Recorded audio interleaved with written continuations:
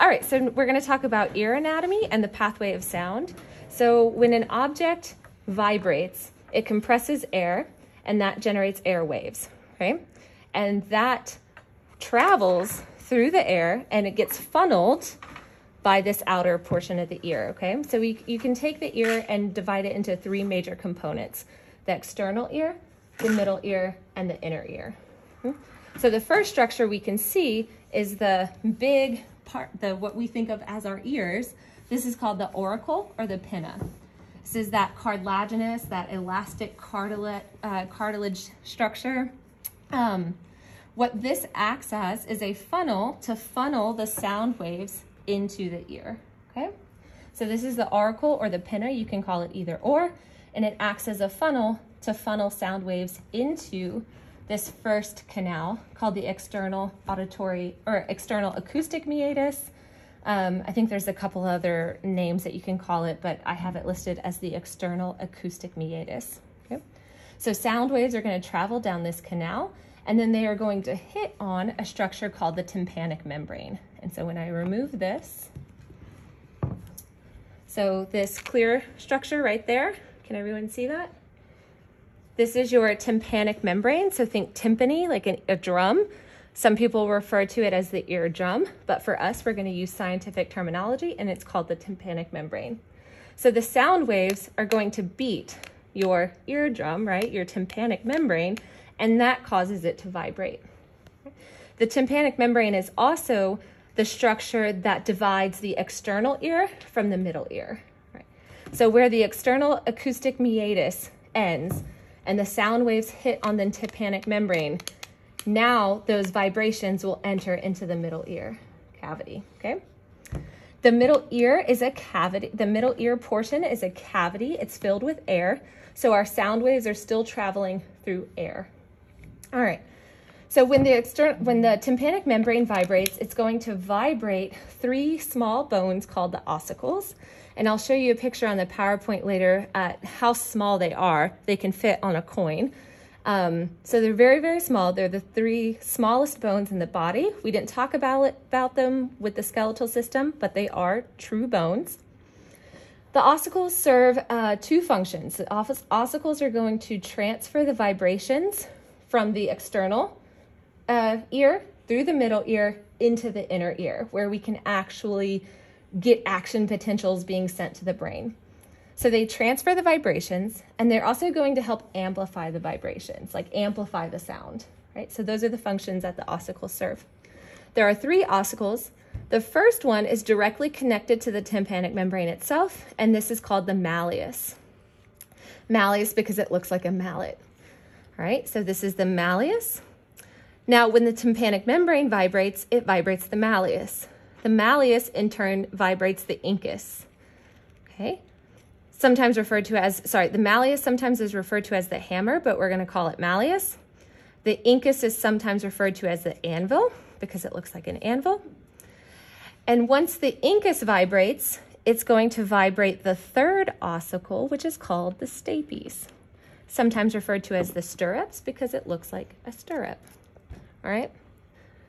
All right, once the stapes vibrates, you can see that the stapes is attached to this big chunky portion, this chunky structure. This starts the inner ear. So when the stapes vibrates, it actually plunges in to this structure right here of the inner ear. And this is where the sound waves get transferred from air into water, into liquid, okay, into a fluid, right? So it causes fluid inside of the inner ear to move. Yeah? It's one of the reasons why these ossicles have to amplify the sound. It's because it's a much harder for waves to travel through fluid than it is through air. So the amplification, the ossicles help serve that function, okay, to amplify it. All right, so where the stapes plunges into, so now we're gonna talk about structures of, um, before I start talking about the structures of the inner ear, let me actually finish the middle ear. So if everyone's with me, sound waves have been funneled in through the auricle or the pinna, traveled through the external acoustic meatus, hit on the tympanic membrane. The tympanic membrane vibrates, which in turn vibrates the uh, malleus, which vibrates the incus, which then vibrates the stapes. and the stapes will plunge into the vestibule right here? This big chunky portion. Before I talk about the rest of the structures of the inner ear, I'm going to mention this canal that travels from the, so this is the middle ear cavity. It's filled with air. This canal right here is called the pharyngotympanic tube um, or eustachian tube. I like pharyngotympanic because it gives me an idea of what, what it's located between. Pharyngo means pharynx, like the back of your throat, and then tympanic, referring to the tympanic cavity or the tympanic membrane. So this pharyngotympanic tube connects the middle ear cavity through your throat. Um, there's a little flap right here, which can open and close under certain pressures. This is if you've ever been on a plane, right, or any sort of uh, ascension or descension, rapidly ascending or rapidly descending, and you have to pop your ears. That's what you're doing, is when you pinch your nose, close your mouth, and blow out, you're opening that little flap so that you can have an equalization of pressure between your middle ear cavity and the and the air in your throat. Does that make sense? Okay. All right. Um, so what children get a lot of inner ear infections, and it's because mm. this little flap that closes off the pharyngotympanic tube develops later on in life. And so children, the bacteria from your throat can actually kind of migrate up into the middle ear cavity and then possibly cause an infection in the inner ear. Okay? All right, just some cool stuff to know. Is that why sometimes they have to get tubes? Yeah, so well the tubes will actually be through in that inserted in that tympanic membrane and it also helps equalize the pressure. Mm-hmm. Um, okay, so now let's talk about structures of the inner ear. All right, so the stapes just vibrated and it acts as a piston. So it actually plunges into a structure on the vestibule called the oval window.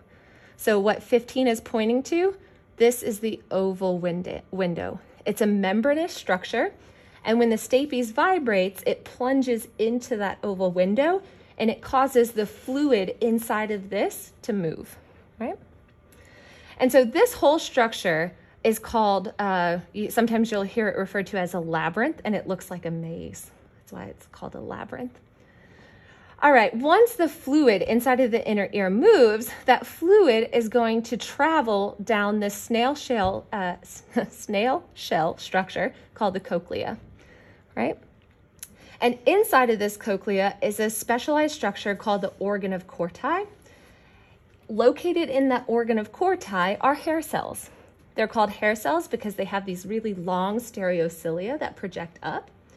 And when they get deflected, now I'm doing I'm going over this in a very simplistic way. In lecture you may have to know more details. But when those stereocilia get deflected one way or the other because of the movement of the fluid, that's going to cause action potentials. And those action potentials will eventually go to the brain, right? Okay, for processing. So that's the cochlea. When you think of hearing, like auditory information, the structure of the inner ear related to hearing is the cochlea. That's where the organ of Corti is located, okay? Now, what about this other big chunky piece right here called the vestibule and these little circles? What is this? I haven't talked about this yet. I mentioned only the cochlea for hearing. The inner ear is also related to equilibrium and balance, right? So this is where this big piece comes into play. So this big chunky piece right here is called the vestibule.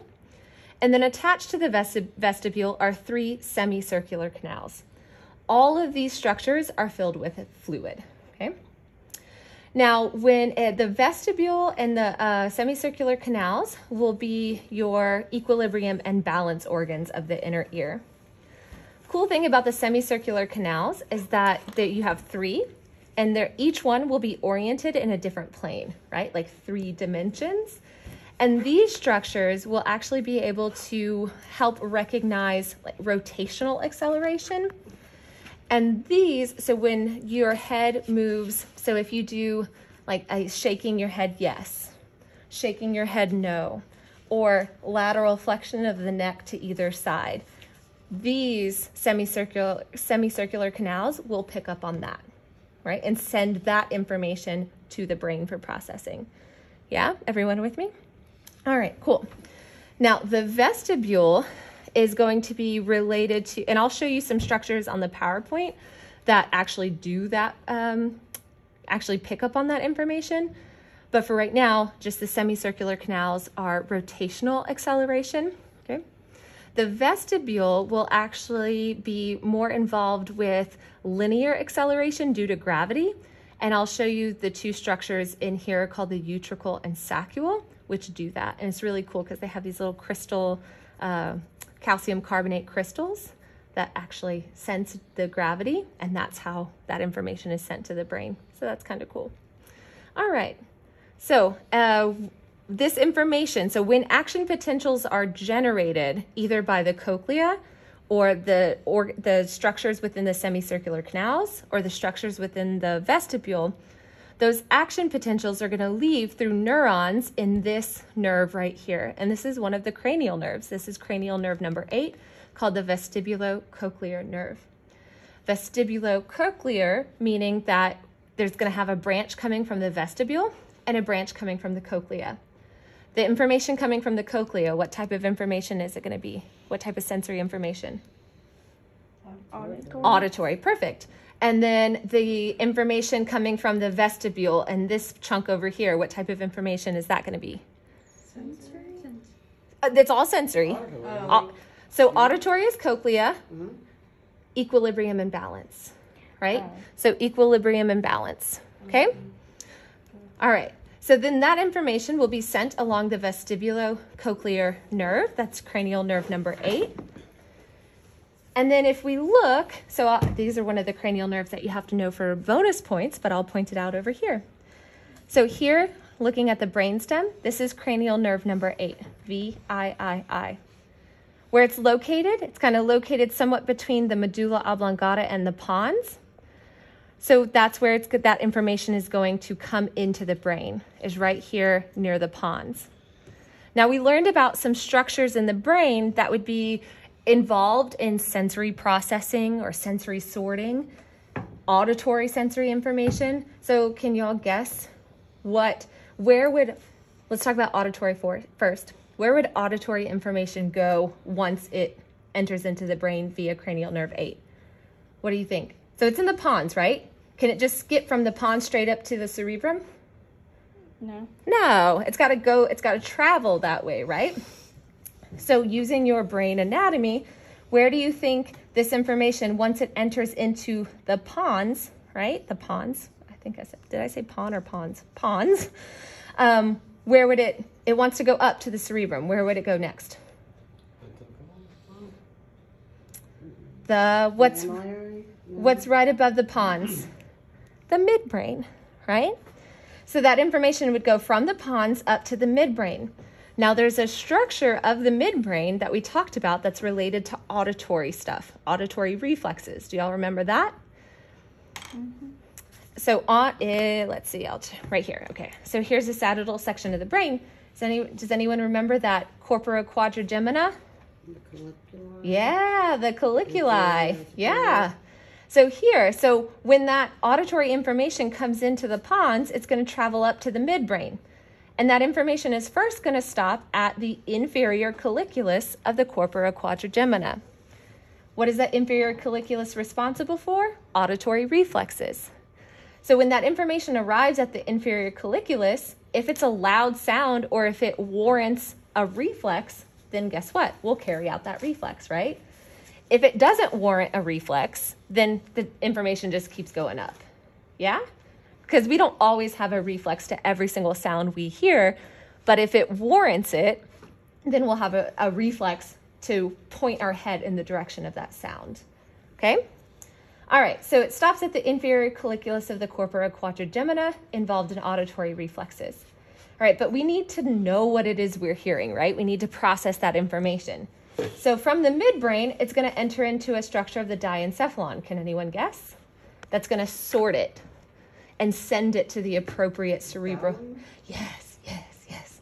So from the inferior from the inferior colliculus of the corpora quadrigemina in the midbrain, that information goes to the thalamus. Then the thalamus is a relay station, right? It's the it's a gatekeeper. It sorts sensory information.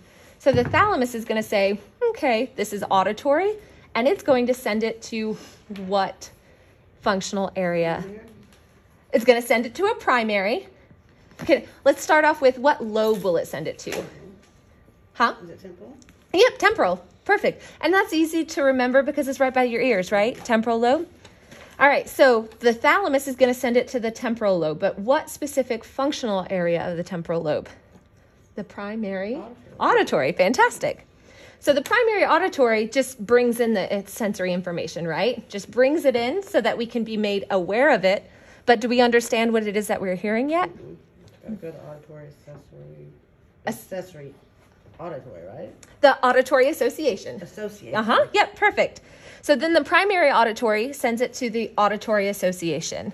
And then that's when it can be integrated, analyzed, and then lots of other structures in the brain are involved in this too if we need to make a memory or if it elicits an emotional response. But for the most part, it's going to go from the primary auditory to the auditory association so that we can understand what it is we're hearing. Yeah? Okay, cool.